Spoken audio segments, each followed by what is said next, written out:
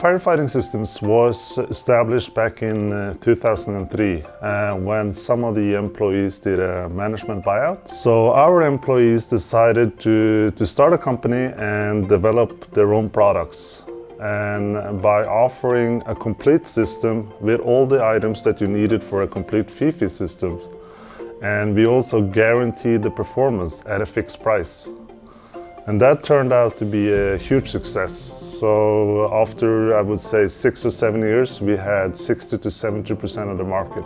We basically conquered the marine firefighting systems for external firefighting, that is. All of our products are developed in Norway and they are produced in Sweden. So we always use uh, local foundries, local machine companies, and we have our own assembly plant, which is seven and a half thousand square meters, where we uh, just put the products together.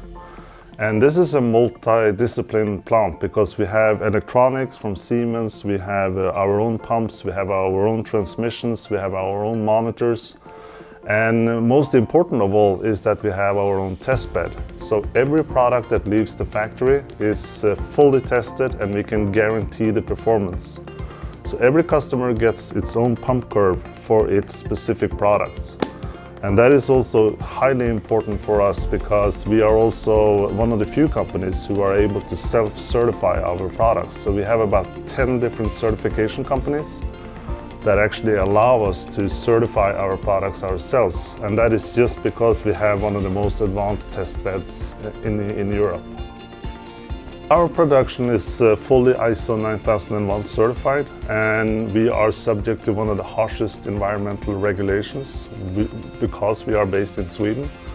And the fact that we are only using local foundries to, to make our products, we also have one of the lowest CO2 emissions uh, in the world.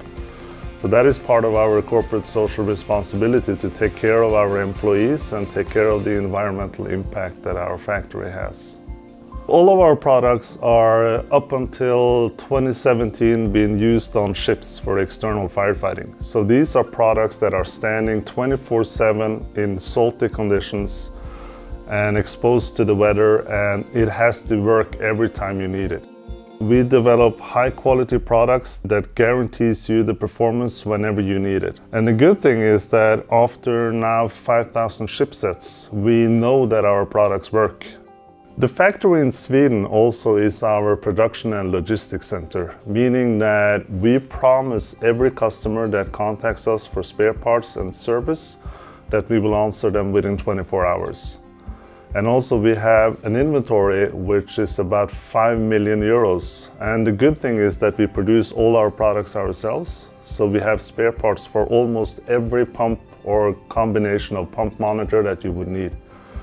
And in some instances, we are able to ship out replacement parts within 48 hours. So we try to answer within 24 and ship out replacement within 48 hours.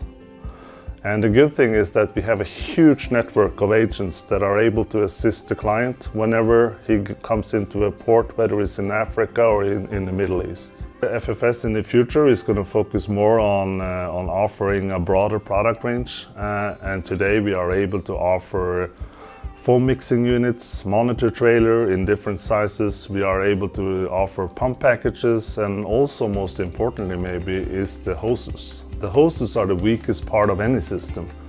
So if you get a hose breach, uh, you basically your system might be dead in the water. You can't be, you can't be, can't use it. So FFS has developed its own um, double jacket hose in cooperation with Mandals, uh, a local company and that has the double the, the bursting pressure as regular hoses have and that gives you much more security in terms of uh, firefighting and uh, avoiding hose breaches. We have a design team and we are spending uh, large amounts of money on product development every year. Even during COVID, we have spent a record number of uh, dollars and euros in developing new products.